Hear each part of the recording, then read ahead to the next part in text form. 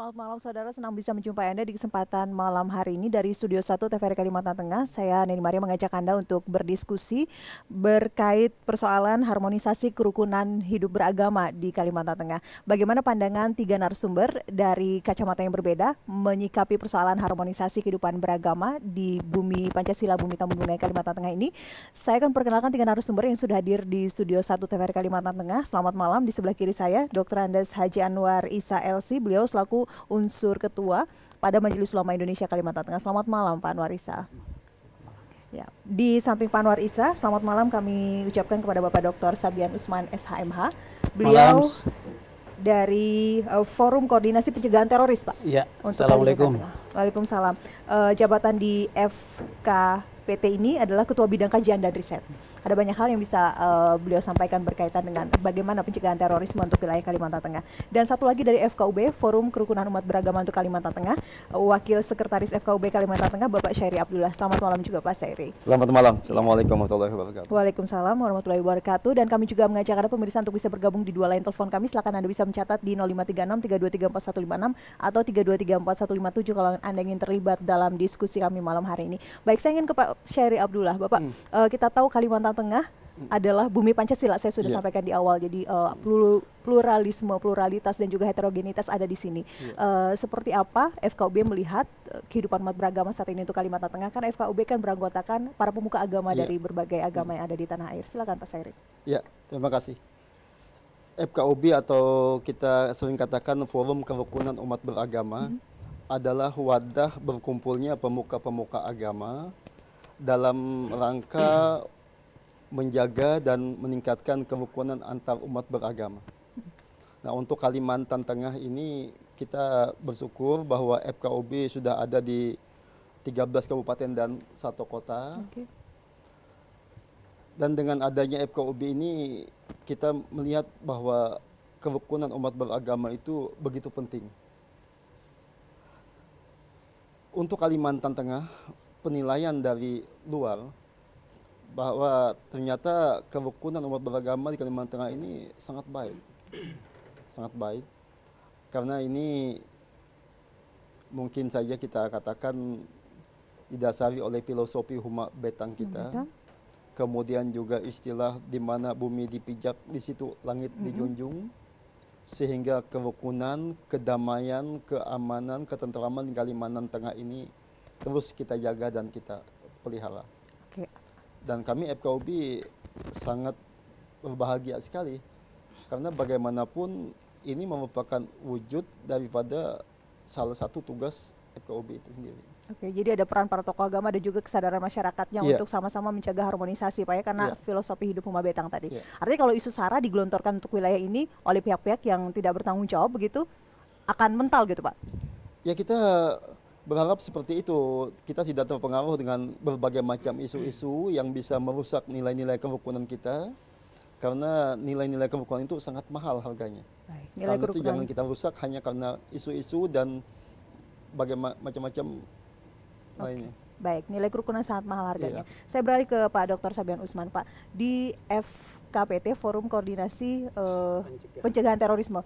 Sudah berapa lama ini hadir organisasi ini ada, Pak? Ya, uh, eh, FKPT ini sebenarnya sangat baru ya. Hmm? Baru beberapa tahun terakhir ini kami dilantik. Tetapi secara partisipatif kegiatan kami ini uh, seluruh anggota FKPT ini sudah berperan untuk itu. Tetapi perannya itu saya sering uh, bandingkan bukan seperti pemadam kebakaran. Hmm. Tetapi bagaimana kita merubah paradigma seseorang yang menjadi radikalisme itu menjadi moderat. Oh. Ya kapan perlu orang sebelum dia menikah kita berikan semacam apa namanya pendidikan, uh, pendidikan agar uh, melahirkan anak yang anti kekerasan, hmm. anti konflik dan lain-lain. Tetapi secara struktur kami ada lima bidang hmm. itu sudah berjalan uh, bidang uh, keagamaan, bidang kepemudaan. Ya bidang hukum dan sosial, kemudian bidang uh, daya media, kemudian juga bidang penelitian dan riset. Mm -hmm. Ini sudah jalan. Sudah jalan. Iya. Uh, bahkan riset kami itu kami mengeksplor mengeksplor potensi kearifan lokal itu yang uh, berpusat kepada Hasupa Hasundau Hapakat. Oh. Jadi ada beberapa teori dari barat kami kami, mm -hmm. kami adopsi sehingga perlunya seseorang itu saling silaturahmi ketemu-ketemu tetapi mendatangkan manfaat mupakat sehingga itu terdeteksi paling tidak mempersempit ruang. Ruang terorisme radikalisme karena radikalisme itu bukan saja dikonotasikan kepada agama. Bisa politik bisa ekonomi bisa masalah-masalah sosial yang lainnya Oke, jadi luas sebenarnya luas. Pak ya. Apalagi sekarang kan sedang pilkada di Kalteng ini. Jadi Itu rentan. berpotensi. rentan. Pak, kalau begitu ada lima lima bidang yang ada iya. di FKPT. Uh, eh, siapa iya. saja yang boleh bergabung di dalamnya, Pak? Oh, itu ada tokoh macam-macam ya? Iya, macam-macam. Tokoh akademisi, tokoh uh, wartawan media massa, ya, tokoh agama, ya. Seperti juga birokrat seperti yang pelaksana harian Bupati Sampit Pak Godlin Pak itu Godlin? bergerak, itu sekretaris oh, kami. Oke, okay, baik. Iya. Uh, selama ini Bapak juga merupakan ketua kajian dan riset. Iya, apa iya. yang tengah ditangani atau mungkin yang sudah Pak berkaitan uh, dengan Kami persoalan? sesuai dengan kompetensi kami melakukan riset, ya. Riset uh, khusus Kota Palangkaraya ini mungkin besok hmm. uh, Prof uh, Irwan Abdullah mantan Direktur Pasar Sarjana UGM akan hmm. uh, sebagai reviewer kami. Kemudian Prof Samiago juga dari LIPI kami selalu bersinergi. Uh, mungkin tidak terlalu muluk lah akan melahirkan pola bahwa Hasupa Hasunda Hopakat ini uh, akan membumi di Indonesia. Maksudnya seperti itu. Hmm. Tapi kan hmm. boleh saja kita bermimpi karena itu uh, sesuai dengan beberapa teori memang memang sangat ampuh ketika kita itu ketemu-ketemu kan jadi harmoni. Oke. Baik, Pak Seri ya. menyinggung soal Huma Betang, Pak Sabian Usman menyinggung Hasupa Hasunda Hapakat. Tadi ada juga menyinggung radikalisme agar agar diubah ke moderat begitu ya. Hmm. Pak uh, Anwar Isa, saya, uh, seperti apa sih Pak satu kelompok dikatakan uh, radikal ekstrim ajarannya? Parameter penilaiannya dari apa Pak? Kalau menurut kacamata Majelis Ulama Indonesia. Uh, Bismillahirrahmanirrahim. Da, kalau Majelis Ulama Indonesia tentu saja nanti dasarnya agama. Hmm. Agama berpangkal dari Al-Quran, Al-Hadis, dan selanjutnya dan selanjutnya. Bagaimana Islam menilai apa namanya radikalisme hmm. atau umpamanya terorisme hmm. atau lain-lain, ya tentu saja kita berpangkal daripada agama itu sendiri. Hmm. Sebenarnya Islam itu kan ada dua, ada hablum minallah, ada hablum minannas. Hablum minallah udah jelas. Hablum minannas antara kita sesama nanti dikaitkan dengan ukhuwah Islamiyah, ukhuwah wataniyah, ukhuwah basyariyah atau insaniyah. Nah, Islam dari sisi ukhuwah ini uh, tidak ada masalah dengan mereka-mereka hmm. yang beragama lain bahkan yang agama pagan pun tidak ada masalah. Kita kaitkan dengan uh, piagam Madinah. Piagam Madinah di mana Rasulullah waktu itu sudah berada di Madinah dalam pemerintahan dengan satu piagam, piagam Madinah. Itu di sana ada mereka yang beragama Kristen, ada yang beragama Yahudi, ada agama pagan lain-lain dan lain-lain. Nah, di sana hidup rukun. Dan dibuat satu perjanjian bahwa bersama-sama umat Islam dan agama yang lain ada di sana untuk mempertahankan Madinah, untuk mempertahankan Jazirah Arab pada waktu itu, dan bersama-sama membangun, dan di antaranya tidak boleh ada pengkhianatan antara satu dengan yang lain. Oh, Nah, tiba-tiba waktu itu tapi ini kalau saya cerita panjang oh, banget ini. Mungkin singkatnya saja Pak. Saya cerita lebih, panjang banget ini cerita lebih, lebih awalnya. Ini uh, uh, kita kaitkan dengan keadaan saat ini. Sebentar ya. Sebentar, oke okay, silakan. Ah, waktu itu bangsa Yahudi atau suku Yahudi mengkhianati perjanjian piagam Madinah, Madinah tadi.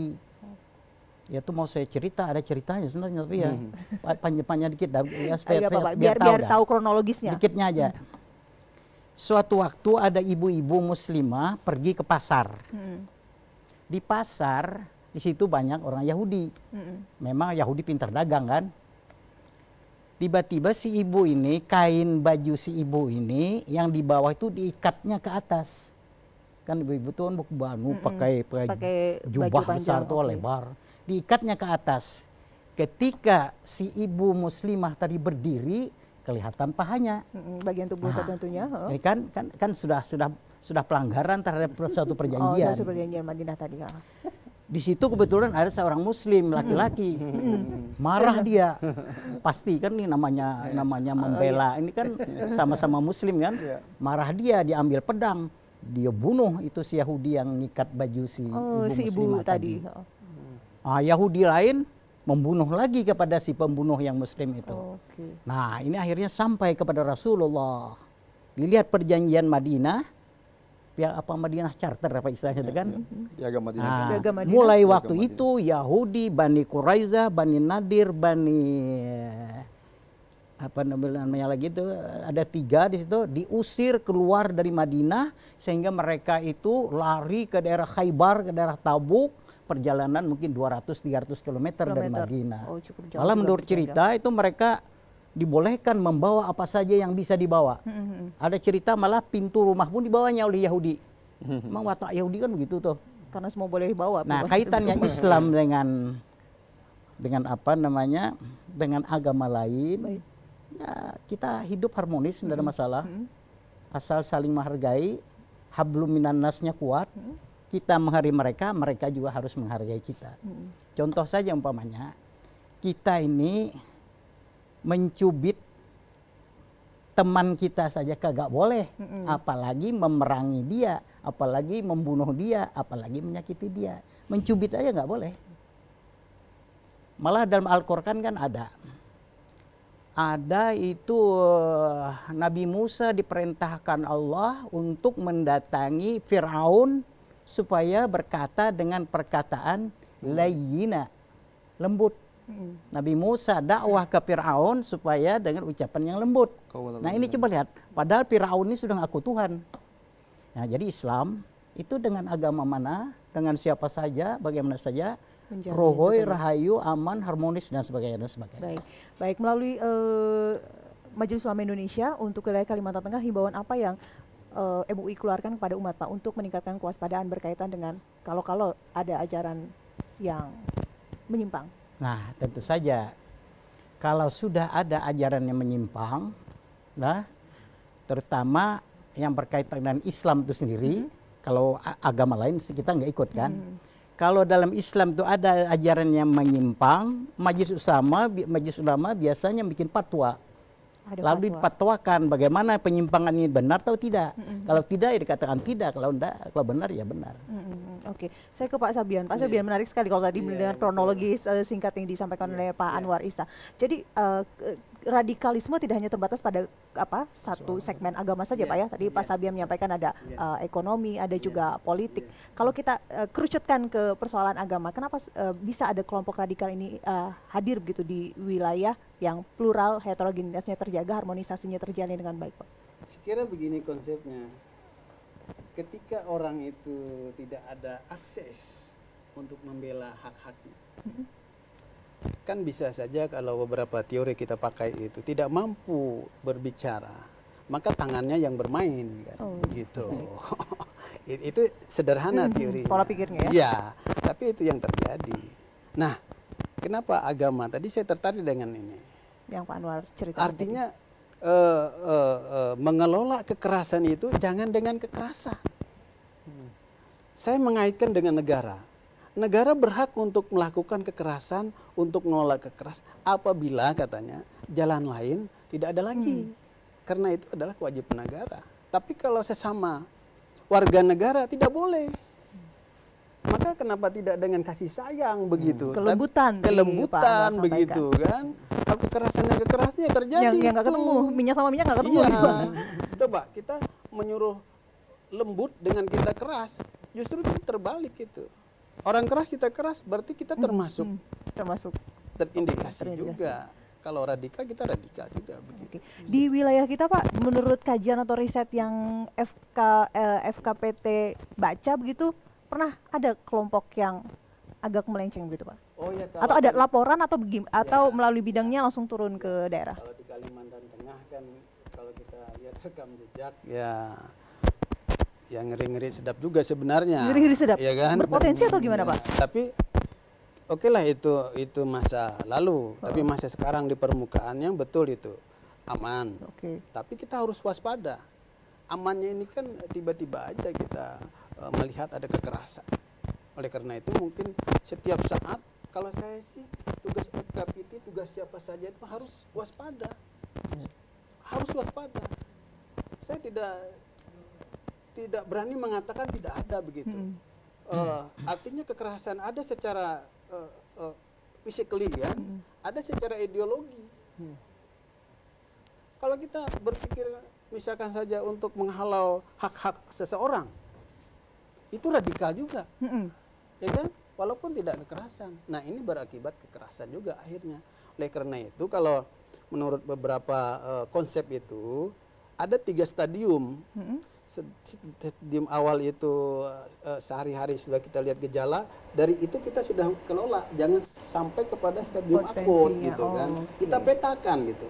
Semua unsur itu makanya Hasupa Sundau itu saling ketemu untuk memetakan itu termasuk ini dari Majelis MUI. Ulama, KUBI, Damang, Mantir, Penghulu dan lain-lain. Jadi semua memberikan masukan supaya Iya. potensi-potensi ini bisa Iya. diredam Pak ya. Iya, Baik, iya, Pak Anwar Isa. Pak Sabian Usman, Pak Seri Abdullah, Iya. kita akan break dulu untuk jeda pariwara berikut dan Iya. kami kembali sesaat lagi dan kami masih menunggu partisipasi Anda untuk bisa bergabung bersama kami dalam diskusi malam hari ini.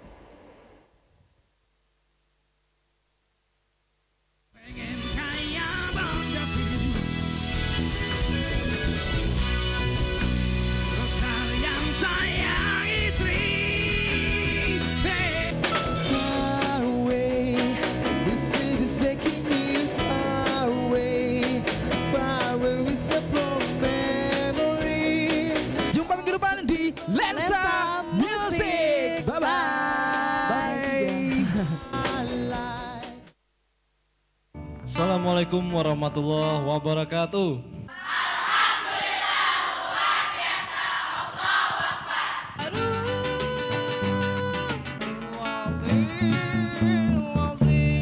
Mudah-mudahan dalam keadaan sehat walafiat.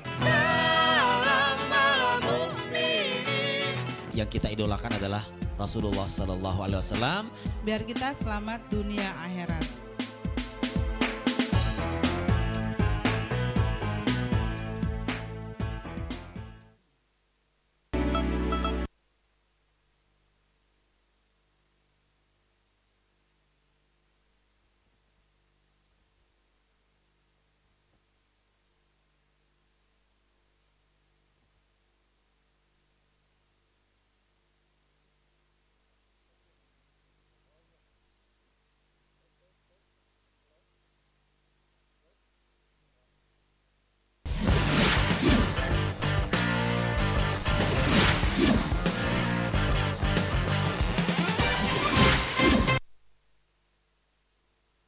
Ya masih dalam perbincangan kita harmonisasi kehidupan umat beragama di Kalimantan Tengah. Eh, saya sekarang ke FKUB. Apa yang menjadi kekhawatiran gitu sisi gelap ketika eh, kelompok ekstrim, kelompok radikal ini hadir untuk memberikan doktrin-doktrin kepada umatnya?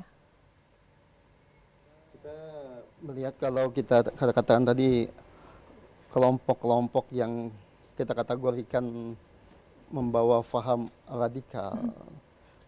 Kami melihat secara kelembagaan memang dapat kita katakan tidak ada Tidak ada. secara kelembagaan. Oh. Tetapi kita kan terbuka, media massa terbuka dan lain sebagainya, maka bisa saja itu menjadi sebuah ideologi tersendiri bagi terutama di kalangan generasi-generasi muda kita. Oh. Dan ini perlu kita waspadai karena bagaimanapun eh, potensi-potensi untuk menjadi radikal tuh ada. Baik. Dan itu tadi dikatakan saya dengan istilah Pak Sabian tidak hanya karena faktor agama tapi juga bisa faktor ekonomi, faktor Betul, politik, politik. dan lain sebagainya. Walaupun nanti ujung-ujungnya itu supaya lebih dilarikan ke agama. Hmm, ujung-ujungnya Ya, Pak ya? ujung-ujungnya dilarikan ke agama. Nah, ini yang berbahaya. Oke. Maka saya teringat dengan apa yang dikatakan oleh Menteri Agama, mantan Menteri Agama dulu Pak Mukti Ali. Hmm. Beliau mengatakan tidak ada pembicaraan yang mampu membangkitkan emosi seseorang kecuali, kita Kecuali. berbicara masalah agama. Oke. Nah, karena itulah kita antisipasi sejak dini jangan sampai ada masuk paham-paham yang radikal ini. Jangan sampai ada masuk paham-paham yang menyimpang dari ajaran-ajaran agamanya ini. Dengan cara apa? Dengan cara mensosialisasikan nilai-nilai kerukunan itu di tengah masyarakat kita. Oke. Dan itu adalah milik semua agama. Bentuk antisipasinya dengan mensosialisasikan Iya. eh, kerukunan Iya. bersama. Mm. Baik, Pak Anwarisa, eh, Pak Sabian tadi mengatakan oke lah di permukaan tidak kelihatan. Lalu eh, Pak Sairi juga menyoroti generasi muda yang rentan. MUI apa pernah melarang ada aktivitas seperti ini di wilayah kita, Pak? MUI kalau memang ada yang seperti itu dan diberitahukan kepada MUI, MUI tentu saja tidak tidak setuju.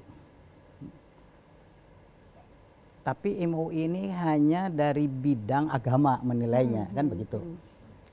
Terorisme, al-irhabi dalam bahasa Arab.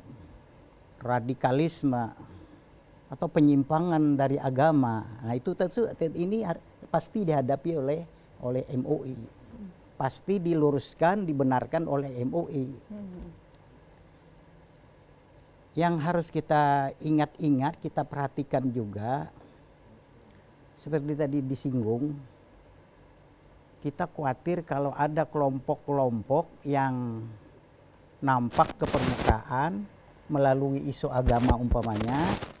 Nah, jangan-jangan ini digunakan oleh mantan-mantan anak cucu PKI dahulu. Oh, jadi Ini, ini bisa-bisa kekhawatiran seperti saja. itu. Hmm.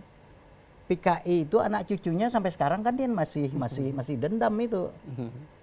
Dia bisa aja lewat agama, dia bisa aja lewat mana, lewat etnis bagaimana. Nah, Islam prinsipnya ndak ada radikalisme, ndak ada terorisme, ndak ada irhab, nggak ada. Islam wasatiyah, wasatiyah, moderat, moderat. Islam menghendaki eh, damai, namanya aja Islam salam. Tadi sore saya jam 8 sampai jam 4 sore sampai jam 5 saya dengarkan khutbah. Khutbah di Masjidil Haram. Dr. Syekh Abdurrahman As-Siddis. apa yang Di antara khutbahnya ini isinya iya, Islam tidak ada itu dengan terorisme berlawanan tidak ada. Baik yang terjadi di Syria, di Syam, di Irak, di Yaman, di mana itu Islam tidak membenarkan. Islam agama selamat, agama rahmat, bertentangan dengan kekerasan dengan cara apa pun. Kira-kira baik. begitu dari agama. Baik, Pak Syamin Umar, walaupun di daerah lain, katakan di pulau lain di luar Kalimantan, bahkan Kalimantan Tengah, Mbak, kita juga mendengar ada beberapa aliran-aliran eh, kepercayaan yang kemudian di, menjadi kekhawatiran sejumlah pihak begitu, Pak. Apa yang harus kita lakukan supaya kita tidak kecolongan, Pak? Yang pertama, kita jangan terjebak pada tag golongan-golongan tertentu, tapi kita mengidentifikasi perilakunya. Bisa aja tagnya itu kan, wah bagus sekali namanya, bahkan eh, sangat eh, apa familiar dan lain-lain. tapi perilakunya seperti apa? Kita lihat misalkan eh, kelompok ini keras untuk menghentikan kekerasan dengan kekerasan. Ini namanya tidak tidak kekerasan, tetapi perilakunya. Nah, itu saya pikir tidak pekerjaan yang yang mudah. Jadi menciptakan karakteristik eh, dari anak-anak pemuda sampai dewasa itu tugas kita semua, bukan hanya sebatas FKPT, MUI dan lain-lain, termasuk setiap rumah tangga. Setiap rumah tangga. Kalau setiap rumah tangga itu menjaga, saya pikir rumah tangga sejahtera, negara sejahtera. Rumah tangga aman, negara aman. Saya kira seperti itu. Setuju dengan Pak Sairi katakan tadi bahwa generasi muda kelompoknya rentan. Ya betul. Karena kan kita Apa yang kenal- menyebabkan Pak? Apa karena masih labil, masih mencari daya Ya, yang- masih yang ada masa pancarobanya itu kan anak muda. Masa pancarobanya. Jadi kalau udah Iya. kelompok dewasa itu masih udah stabil gitu ya. Sudah tapi stabilnya itu jangan stabil kiri ataupun kanan, stabil yang memang stabil. Baik. Stabil kebajikan mulia. Kebajikan mulia. Iya, Saya iya. potong di situ Pak, Pak Sabian Iya. ya. Ada pemirsa yang bergabung, kita Oke. coba sapa dulu. Selamat malam. Halo. Bapak Ibu silakan kalau sudah bisa dengar suara saya bergabung. Assalamualaikum. Waalaikumsalam. Dengan siapa Bapak? Pak Rusman. Pak Rusman di mana Bapak? Assalamualaikum Pak Rusman dari Hanau Pembuang Hulu. Oh, Baik, pembuang hulu. selamat malam Pak Hanau Hanau. Pembuang Hulu Seruyan Pak ya. Ya oke. Si- silakan apa yang ingin Bapak suarakan Pak Rusman? Eh, ya begini Assalamualaikum Bapak interaktif Hmm. RRI eh, Palangkaraya Kalimantan Tengah. Kami dari masyarakat eh, Seruyan Bapak. Tadi dibicarakan tentang masalah terorisme kekerasan di masyarakat yang terjadi di eh, beberapa eh, negara atau di tempat kita juga. Ini persoalannya banyak masalah Bapak kaitan di daerah kami. Ini kalau dilihat justru sikap kekerasan itu diajari atau di apa namanya eh, apa namanya dibuat oleh pihak-pihak orang-orang yang berkuasa atau punya kedudukan. Nah, terutama di daerah-daerah apa namanya ya perusahaan. Nah, justru masyarakat sekarang itu menuntut itu masalah ke- keadilan, Mas. Dia tidak makan, dia mencari penghidupan sehari-hari. Tetapi disikapi dengan kekerasan. Kita tidak melihat bahwa itu agamanya agama muslim, non-muslim, gitu. tapi kenyataan.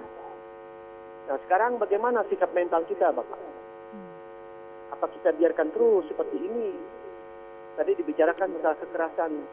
Kalau sampai ini dibiarkan terus, lambat laun kan sikap kekerasan ditanamkan terus, Bapak.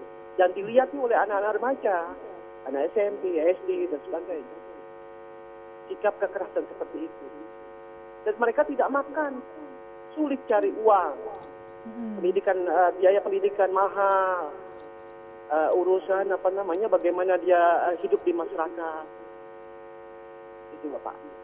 Nah, saya, saya kami dari ini meminta petunjuk-petunjuk atau dari bapak-bapak narasumber gimana menyikapi hal seperti ini. Apa kita hanya berpangku tangan ta- saja atau kita bagaimana? Terima kasih. Baik, terima kasih. warahmatullahi wabarakatuh. Waalaikumsalam Pak Rusman dari Hanau Pembuang Hulu Kabupaten Seruyan. Terima kasih sudah bergabung. Mungkin bisa dilanjutkan Pak Sabian sebelum nanti mengomentari apa yang Iya, iya. disampaikan Pak Rusman. Betul itu. Jadi ada beberapa tulisan saya terakhir. Saya katakan bahwa kekerasan nomor satu itu adalah kemiskinan. Kemiskinan. Kekerasan nomor satu itu adalah kemiskinan. Ekonomi Pak ya. Iya. Jadi orang boleh melakukan apa saja kalau dia lapar. Hmm. Bahkan lebih kejam daripada pembunuhan kemiskinan itu. Contoh saja, saya punya data beberapa provinsi seluruh Indonesia, ada sekian lumpuh layu, ada sekian kekurangan gizi setiap provinsi itu. Itu kan termasuk kekerasan oleh negara sebenarnya. Mohon maaf gitu loh. Oleh karena itu, itu itu fakta ya. Oleh karena itu, jalan keluarnya memang sebenarnya sangat berat. Pertama, kalau saya itu di pemilunya. Oh, Jadi memilih pemimpin itu harus betul-betul di suksesi kepemimpinannya Iya, ya. karena pem- apakah itu pemilu legislatif atau eksekutif? Karena itu itu ada induk semangnya.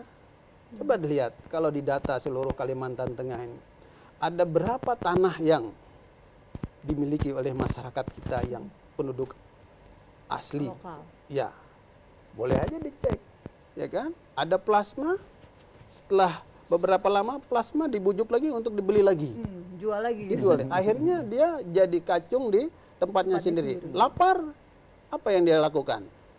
Kalau enggak ngamuk kan? Ya, kekerasan itu tadi. Iya, itu kekerasan nomor satu saya pikir. Ini jalan keluarnya ini Pak Rusman bagus sekali itu. Hmm. Pilih pemimpin yang betul-betul mengayomi masyarakat. Tapi itu susah. Sistem pemilunya lagi yang wah, luar biasa gitu. Nah inilah Jadi saya menyebutnya itu lingkaran setan. Lingkaran setan. Lingkaran setan. Iya. Jadi eh, pilih pemimpinnya di pemilu karena berimbas pada kebijakan sampai Ya, ya, masyarakat betul. bawah. Baik. Nanti saya minta tanggapan dari dua narasumber lainnya, tapi ada pemirsa lagi yang masih ingin bergabung bersama Ya, dengan kita. Selamat malam. Halo. Halo Ibu Bapak, jika sudah bisa dengar suara saya silakan. Kita berbicara persoalan menjaga harmonisasi. Halo, Silakan. Halo Bapak. halo. Iya sudah bisa Selamat saya dengar. Pak, silakan Pak. Langsung saja Pak. Ya, Bapak dengan siapa? Bapak di Ya, mana? ini ya eh, adanya kekerasan radikalisme itu kadang-kadang disebabkan oleh lebih apa kesenjangan-kesenjangan yang diciptakan oleh negara. Hmm. Sehingga ketika orang kecewa terhadap negara, ya orang bisa apa melakukan kekerasan. Ini akibat dari apa apa apa yang dikatakan Pak Rusman itu benar. Hmm. Baik, halo. Daerah ini akan rawan dengan konflik. Baik. Nah, kita ambil contoh kalau negara itu makmur seperti Singapura, Brunei Darussalam, di sana tidak ada gejolak. Tapi ketika negara ini miskin, masyarakatnya susah cari penghidupan, mereka cenderung uh, merasa dirinya putus asa. Jadi dia bisa apa lari ke narkoba, bisa lari ke ISIS, bisa ke teroris. Orang-orang yang lari ke ISIS sana, dia pikir tinggal di Indonesia ini lebih baik bergabung dengan ISIS. Karena dari di tinggal di Indonesia ini nggak dapat perhatian dari negara. Begitu ya. Coba ngebayangin, di Suriah sana itu perang, tapi orang cenderung lebih memilih pergi ke Suriah daripada tinggal di Indonesia. Nah itu aja Bu masukan saya. Baik, terima kasih sebelumnya dengan Bapak siapa, Bapak? Halo, Halo. Dengan Bapak siapa ini, Pak? halo. Bapak di mana, Pak? Oh iya. Iya, nah, tadi tulisan terbaca Pak Yulianto di Buntok, Barito Selatan gitu ya. Terima kasih sudah bergabung. Sepaham dengan sebelumnya, radikalisme akibat kesenjangan, kesenjangan ekonomi terutama lalu kemudian silahkan tanggapi Pak. Sabian dulu mungkin nanti Oke. sebelum ke saya Pak Sairi. Oh iya betul. Ini semakin memperkuat indikator-indikator yang Artinya masyarakat sudah bisa membaca Iya. Pak ya? Jadi tipikal pemimpin itu sebenarnya jangan banyak ngomong, banyak mendengar seperti Yulianto, seperti Risman. Itu kan representasi dari dari masyarakat. Dari kegalauan, Iya kan? kegelisahan yang mereka Ya kan? rasakan. Oke. Jadi berfokuslah kepada kesejahteraan. Uh, kedaulatan tertinggi juga kedaulatan rakyat Ada di tangan itu rakyat. adalah kesejahteraan. Ya kan? Nah ini yang yang saya pikir yang memilih pusat memilih pemimpin yang sangat susah gitu. Karena sistem iya. perpolitikan kita Pak ya. Iya. Jadi berapa seberapa punya uang, seberapa dia punya kesempatan untuk menjadi pemimpin gitu loh. Bukan seber- seberapa punya, kompetensi. kompetensi dan keinginan Iya. tadi. Baik. Ini yang yang Yang PR jadi kita. jadi PR, jadi kendala, jadi tantangan. Pak Sairi suaranya silakan Pak. Iya. Menanggapi dua penelpon tadi Pak. Jadi kalau kita melihat tadi dan apa eh, tanggapan Pak Sabian, saya melihat bahwa eh, kekerasan ini, oke tadi di, di- satu di antaranya adalah faktor kemiskinan. Hmm. Iya. Tapi saya melihat tidak hanya faktor kemiskinan harta, tapi juga yang lebih utama adalah ke- kemiskinan iman. Oh iya. Kemiskinan ini sehingga mudah, Sehingga eh, mudah tergoda dengan tergoda tawaran kelompok lain. sebagainya. Karena banyak juga kita melihat di masyarakat dia mau punya harta cukup, tapi karena tidak punya iman, anu, dia melakukan kekerasan dengan berbagai macam cara. Jadi kekerasan itu bisa saja timbul karena faktor kemiskinan harta, bisa ke faktor kemiskinan iman. Nah, maka di sinilah penanaman nilai-nilai agama kepada orang yang bersangkutan itu bagaimana. Baik. Karena bagaimanapun kita memiliki ajaran agama yang menghendaki kita ini hidup damai. Mm-mm. Walaupun kita berbeda. Baik. Hidup damai dan juga sejahtera Pak ya. Nah, Baik. Kemiskinan iman Pak Anwar Isa, peran para tokoh agama mungkin perlu lebih seperti apa supaya Ya, kekayaan iman jadi milik Mm-mm. pribadi masing-masing. hidup kita memang harus ada iman dan takwa. Hmm. Kalau ada iman dan takwa, insya Allah aman. Baik dia dalam keadaan miskin, baik dia dalam keadaan ekonomi bagus, baik dalam ekonomi sangat bagus. Tapi kalau iman takwanya ini kurang, jangankan yang miskin, Yang yang kaya kaya pun mau korup lagi, mau nambah lagi. Jadi kasusnya gitu Pak ya, Ya, korupsi padahal mobilnya udah belasan hawa gitu. nafsu, hawa nafsu tuh. Iya, iya. Hawa nafsu karena iman dan takwanya kurang. Takwanya kurang. Dalam Islam ada satu konsep. Mm-mm. Ini miskin, ini kaya. Hmm. Itu ada zakat. Hmm. Yang harus di Zakat. Yang kaya yang disebut dengan muzaki, yang miskin disebut dengan mustahik, yang kaya memberikan kepada yang miskin, si muzaki memberikan kepada mustahik, insya Allah miskin ini akan terangkat. Artinya miskinnya berkurang, berkurang, berkurang karena harta zakat dari orang yang kaya, yang mampu ini tadi. Jadi salah satu konsep untuk bagaimana mengurangi kemiskinan itu dalam Islam ada namanya zakat. Si muzaki wajib mengeluarkan zakat untuk si mustahik. Mustahiknya nanti dibagi lagi dalam fikih kan banyak tuh ada delapan. Itu diatur nanti oleh alim ulama. Dan di Indonesia kan sudah ada itu namanya Badan Ambil zakat Ba- Badan Amil Amil Zakat. Zakat. Tempatnya di, di Basnas. Basnas. Kalau mulai di daerah pusat Basda, Pak, ya? sampai ke Daerah. Basda sampai ke daerah-daerah. Kalau ini bisa diterapkan dengan baik-baik, dengan teratur, dengan sistem yang bagus, insya Allah kemiskinan ini lambat laun akan berkurang karena mereka merasakan harta zakat si Dari orang kaya. untuk orang yang ekonomi lemah atau si mustahik tadi. Oke, miskin kira itu. iman, miskin ketakwaan juga Pak ya menyebabkan banyak hal. Pokok- Pokok pangkalnya Oh, iman dan pangkalnya. takwa itu Oke. tadi. Pak Pak Sabir Mas tadi menyambung pembicaraan sebelumnya, kenapa kelompok generasi muda rentan gitu Pak untuk mudah diiming-imingi akan doktrin-doktrin yang baru? Saya kira begini ya, eh, secara psikologis perubahan-perubahan eh, dari anak-anak ke dewasa itu ada beberapa fase gitu kan. Hmm. Yang umur-umur belasan tahun ini kan sedang eh, pancaroba. Mereka mencari bentuk, selalu ingin tahu dan lain-lain sehingga di situ ketika ketidakstabil itu masuk doktrin, dia akan pegang. gitu. Nah, kalau tidak ada untuk eh, memoderasi ini, kalau itu yang kiri masuk dipegang yang kiri itu sampai mungkin bisa yang dulunya tidak masuk ke kelompok ISIS bisa masuk ke kelompok ISIS. gitu.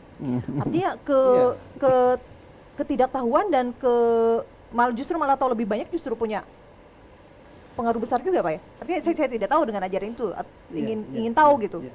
Tapi kita bisa meng- harus bisa mengidentifikasi ya eh, yang dimaksud dengan radikalisme itu beda dengan eh, fundamentalis ya. Fundamentalis. Saya pikir orang boleh saja memfundamentasikan agamanya sekuat-kuatnya kenapa tidak gitu kan Sebagai orang yang beriman Ya, begitu Pak. beriman tapi yang tidak boleh itu fanatik hanya punya saya yang benar Hmm. Ya kan kalau punya saya yang benar semuanya yang- yang benar-benar semua kan kan tidak ada agama yang tidak damai dipersatukan di situ. Apalagi konsep yang saya tadi. Baik. saling saling silaturahmi. Saya kira itu clear aja persoalannya. Apalagi di bawah panji besar rumah betang. Jadi eh, sifat fanatisme tadi kalau bisa jangan berlebihan begitu Pak ya. Jangan berlebihan. kita akui juga berbeda pendapat. Kita akui juga orang itu benar. Bukan hanya kita yang benar. Baik. Tadi penelpon kita juga menyinggung persoalan konflik timbul karena ada kesenjangan dan dan banyak hal yang disoroti tadi. Bagaimana FKUB melihat potensi konflik yang ada di wilayah kita supaya bisa kita redam, Pak? Memang kalau kita lihat tadi sebagaimana saya katakan pada awal, kerukunan di kita Kal- Kalimantan Tengah ini cukup baik. Tetapi kalau kita ke bawah lagi, menukik ke bawah lagi, memang potensi-potensi untuk konflik itu ada, ada. Dengan berbagai ragam eh, ini motifnya. Nah karena itulah kita DFKUB ini dalam upaya untuk meredam berbagai macam eh, konflik ini ya sering mengadakan pertemuan dengan tokoh-tokoh agama, dengan pemuka-pemuka agama, juga pembinaan kepada generasi-generasi muda. Karena saya sering katakan generasi muda kita itu kenapa begitu mudahnya disusupi oleh faham-faham yang radikal tadi termasuk kalau kita katakan lebih mungkin lagi teroris itu Ya, betul. karena pada umumnya ma- mohon maaf saya katakan pertama generasi muda kita kayak labil labil selalu ingin mencari identitas dirinya se- sebagai apa, keakuannya, pemahaman keagamaannya kurang. Mohon maaf di sisi lain, mau masuk surga ibadah malas. Hmm. Karena semua agama mengajarkan kebaikan, mungkin mikirnya Iya. ini mau Pak ya. masuk surga ibadah malas. Nah di sisi lain ada doktrin-doktrin keagamaan kalau kamu ikut kepada kami, Maka- kamu tidak perlu ibadah terlalu Hmm. anu. Kalau kamu mati sebagai anu, kamu akan syahid. Nah satu di antaranya kenapa calon-calon bom bunuh diri itu Hmm. dikatakan sebagai pengantin? Calon-calon pengantin. Kan sering kita Iya, mendengar informasi seperti itu. Dikatakan sebagai pengantin. Kenapa? Karena orang-orang seperti itu berpaham kalau mereka mati, mati syahid, maka mereka ditunggu oleh bidadari-bidadari di sorga dan akan dikawinkan dengan bidadari-bidadari ini. Karena itu mereka ketika akan melakukan bom bunuh diri, mereka disebut sebagai pengantin. Walaupun ibadah dan menjalankan apa yang diperintahkan oleh agama, Agama atau ti- tidak dijalankan. Tidak dijalankan. Katakan doktrin tadi, kamu tidak perlu ini, ini, ini. yang penting kamu ini syahid. Nah ini yang jadi. Nah karena itulah kita ingin terus berikan bimbingan kepada generasi muda kita tentang uh, nilai-nilai kerukunan ini. Karena itu kita di FKOB membentuk yang namanya forum uh, kerukunan untuk pemuda lintas agama. Oh, jadi pemuda lintas agama ya? Ada, kita pemuda lintas agama kita ada. Oke. Dan ini aktif melakukan berbagai macam kegiatan-kegiatan pembinaan-pembinaan di kalangan uh, pemuda-pemuda. Kalau di MUI Pak melibatkan para tokoh agamanya untuk memberikan sosialisasi kepada masyarakat dalam bentuk apa Pak selain mungkin dalam uh, kegiatan khotbah Jumat atau ada Ya. rutinitas lain. Majelis ulama, tentu saja ulama-ulamanya, ustadz-ustadznya, guru-guru agamanya, setiap hari itu ada pengajian. Mm. Kalau di setiap Jumat ada khutbah, isinya yang macam-macam. Keseluruhannya itu mengingatkan kepada kaum muslimin untuk taat kepada agama.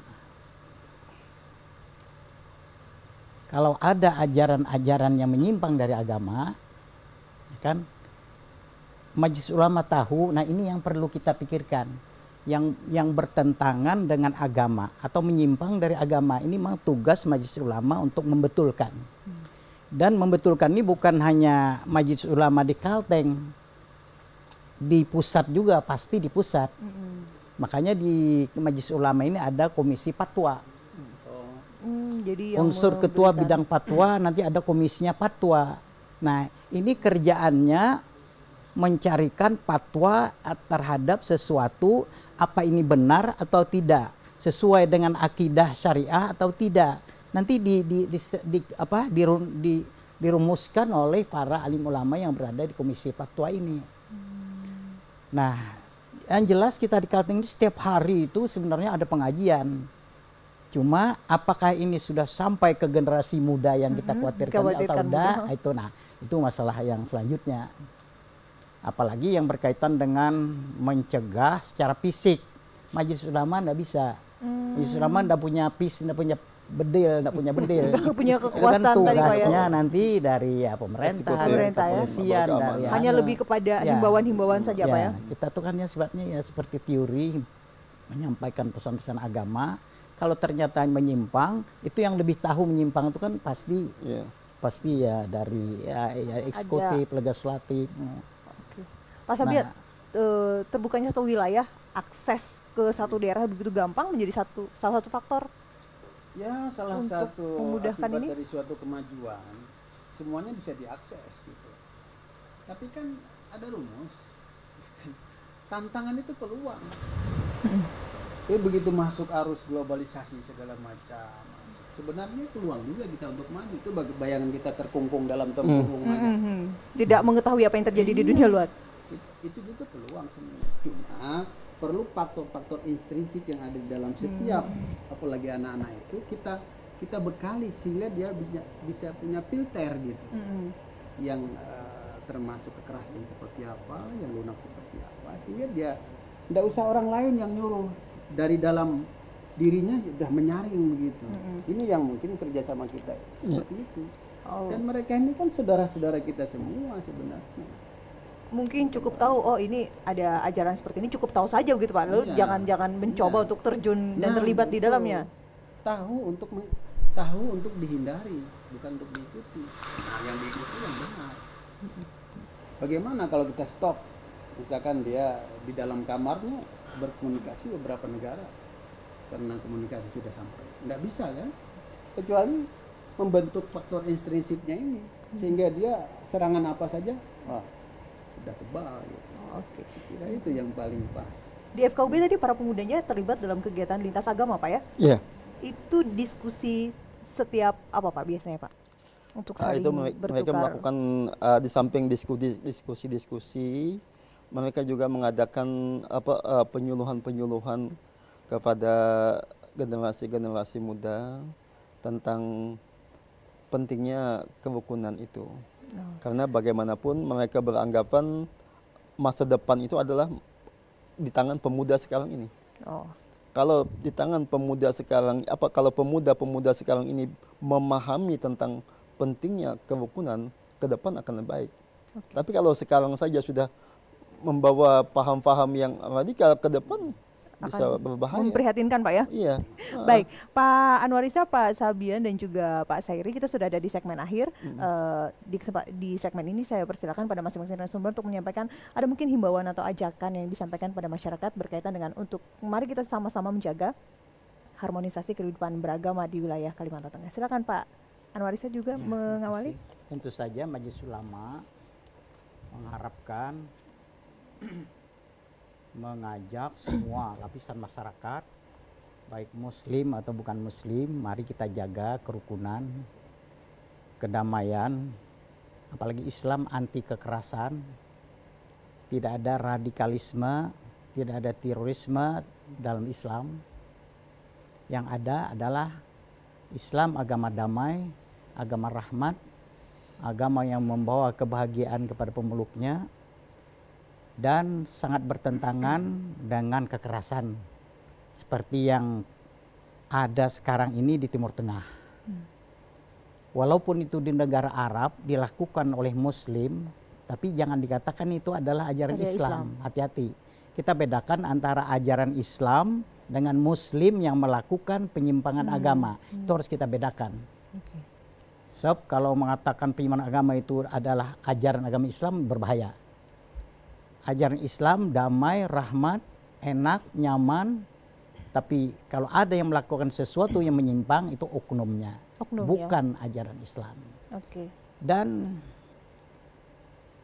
saya tahu di Kalteng ini belum belum entah saya nggak tahu saya belum tahu Belum- belum, ada laporan ada mungkin, Pak. kekerasan belum ada kekerasan dari anak muda atau dari masyarakat mana nggak ada saya tahu Oke. biasa-biasa saja makanya itu kalau ada dari pihak mana mengetahui perlu juga majelis ulama tahu biar biar kita sama-sama semua untuk Hmm. Mencegah ya. menyelesaikannya Baik. Umpamanya yang begini-begini kan mereka dari BEN biasanya. Mereka ini yang cepat tahu. Hmm, Sudah bisa membaca Maju ya? selama lambat tahunya, mereka lebih duluan tahunya. Oke. Bisa mungkin berkoordinasi Ya. dengan MUI Pak ya? Ya, pernah datang dari dari Korem itu mereka berdua datang pada saya di Masjid Nurul Islam. Hmm.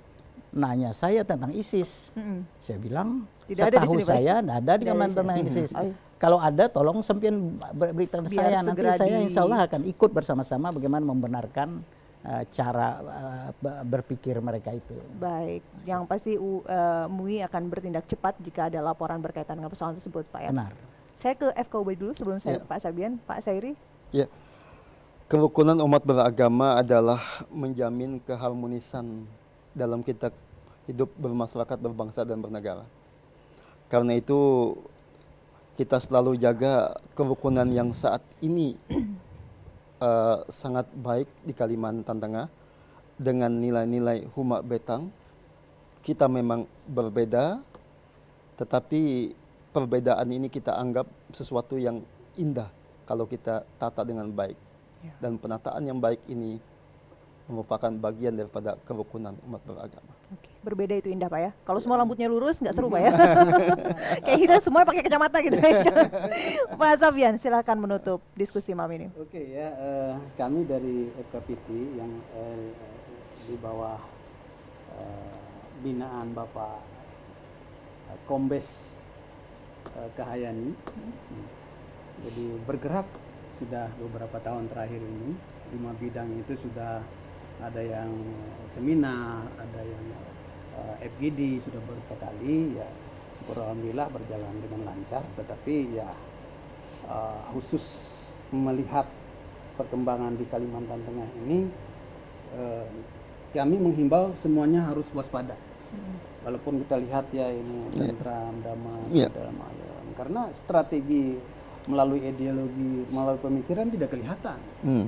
ya kan? Bisa saja berbentuk lain tapi di bawahnya itu adalah eh, Misinya tadi. Iya, iya, ini yang kita harapkan. Dan juga jangan terpaku. Kadang-kadang konotasinya ketika ada radikalisme itu lalu sama dengan agama. Ujung-ujungnya agama tadi. Nah, sekali banyak radikalisme yang dilakukan yang sebenarnya tidak atas nama agama, Iya. atas nama suku, atas nama sara dan lain-lain. Nah ini mungkin tugas kita semua kita himbau sehingga eh, FKPT juga siap untuk berkoordinasi kepada siapa saja, termasuk kami beberapa provinsi, kemudian kemarin ya di Balikpapan, kemudian eh, minggu-minggu terakhir nanti kami akan ke Sulawesi dan lain-lain, sehingga eh, kita cobalah, apalagi Kalimantan Tengah ini kan kalau kita saling berkomunikasi, tentunya jarum gin- jarum jatuh pun ya pak ya Dengar. Terdengar. bisa kelihatan gitu. Tapi kalau tidak saling komunikasi, tidak saling silaturahmi, akhirnya juga jadi abu-abu, jadi uh, wilayah sumir dalam hukumnya. Hasupa Hasunda Hapakat Ya. tadi Pak ya. Harus hasupa hasundau hapakat. Triple H ya? Konsep Triple i- i- itu itu yang kami eksplorasi dari uh, filosofi Kuma Betang. Oke. Di dalamnya ada hasupa hasundau hapakat. Kalau ada yang mencurigakan gerakan-gerakan di masyarakat, silakan saja lapor ke Majelis Ulama Indonesia, ke Forum Koordinasi Pencegahan Teroris, bahkan ke. Forum Kerukunan Umat Beragama. Terima kasih Pak Syairi Abdullah, Sama-sama. Pak Dr. Sabian Usman, dan Bapak Haji Anwar Isa untuk diskusi malam hari ini. Semoga ini menjadi perhatian kita bersama untuk menjaga harmonisasi kerukunan hidup beragama di Kalimantan Tengah. Dan terima kasih juga untuk Anda yang sudah berpartisipasi bersama kami dalam diskusi kami malam hari ini. Mewakili kerabat kerja yang bertugas, saya Neni Maria undur diri. Selamat malam, sampai jumpa. Selamat malam Pak, terima kasih.